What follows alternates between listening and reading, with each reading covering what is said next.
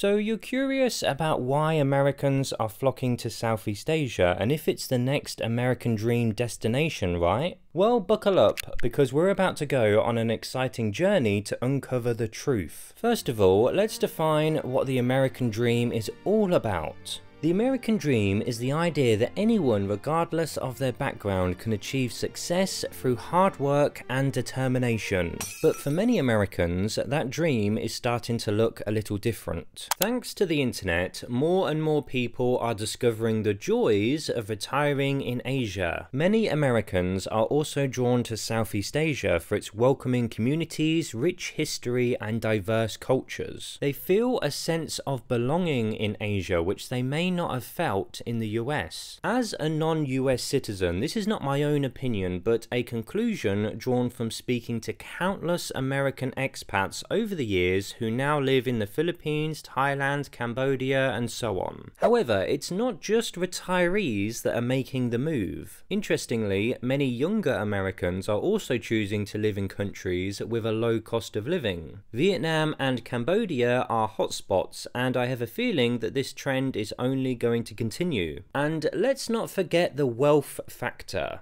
Contrary to popular belief, not all expats in Southeast Asia are struggling financially. Many expats are successful but choose to live in Asia as there are more opportunities and a better lifestyle. Plus, with everything going on in the world, who wouldn't want a little change of scenery? But there is also the elephant in the room, dating. Dating in Asia is different than the West, and for some it's a more appealing option. So, for all you single gents out there, Southeast Asia may just be the perfect place for you. But is the grass always greener on the other side? In other words, if you move and decide to live full time in Asia, will this be a wise choice? I always think it's important that you see the full picture, and this includes any potential challenges and risks. These are a few common problems that expats face. Now this is not to put you off, but it is important as I mentioned to see the cons of being an expat, not only the pros. So let's say you're thinking about moving to Southeast Asia. Well, the good news is that there is no shortage of options. Thailand is very popular with expats, with its low cost of living, delicious food and unique lifestyle. Cambodia, Indonesia, Malaysia and Vietnam are also super cheap, which is why they're becoming hotspots for backpackers.